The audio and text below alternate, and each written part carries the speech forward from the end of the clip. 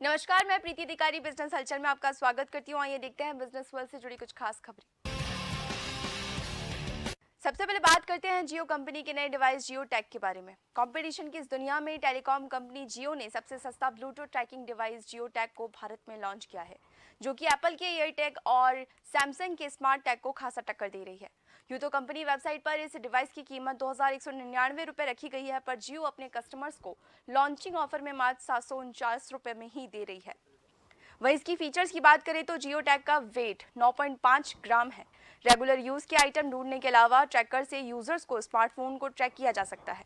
Phone के silent mode में होने पर भी जियो टैग को डबल टैप करने से फ़ोन की रिंग बजने लगती है। आपको बता दें कि जियो टैग में replaceable C R two zero three two battery दी गई है, जिसकी लाइफ एक साल तक की है।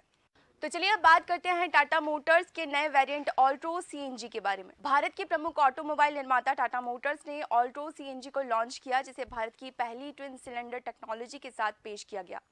वहीं आपको बता दें कि कार को 7.55 लाख रुपए के शुरुआती दाम से लॉन्च किया गया है। टाटा मोटर्स ने इंडस्ट्री की पहली सीएनजी टेक्नोलॉजी विकसित की है। वहीं कंपनी की कार ऑल्ट्रोज आई सीएनजी में सामान रखने की जगह से कोई समझौता नहीं किया गया है। ये कार बेस्ट फीचर के साथ लेस होकर आती है, जिसमें उपभोक्ता को प्रीमियम हैचबैक की लग्जरी और पूरा आराम मिलता है।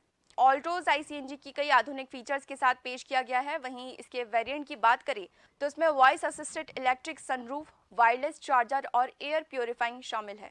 टाटा मोटर्स के प्रबंध निर्देशक शैलेश चंद्रा ने इस मौके पर कहा कि ज़्यादातर उपभोक्ता वैकल्पिक ईंधन से चलने वाली गाड़ियों की तलाश कर रहे हैं। इसके साथ ही वे ऐसी कार चाहते हैं जो ईंधन की खपत में किफायती हो और इसके साथ ही उसे चलाने से प्रदूषण भी ना हो।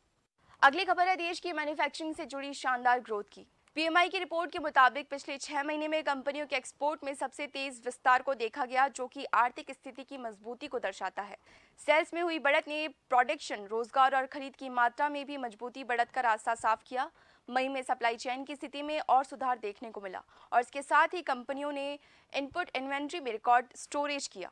आपको बता दें कि पीएमआई का पूरा नाम परचेजिंग मैनेजर इंडेक्स है, जो कि मैन्युफैक्चरिंग सेक्टर की आर्थिक सेहत को मापने का एक इंडिकेटर देता है, जिसके ज़रिए किसी भी देश की आर्थिक स्थिति का आंकलन किया जा सकता है।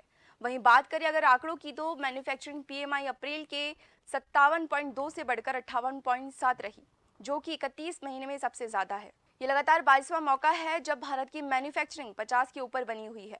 आपको बता दें कि पीएमआई का आंकड़ा अगर 50 के ऊपर हो तो मैन्युफैक्चरिंग एक्टिविटी में विस्तार को बताता है।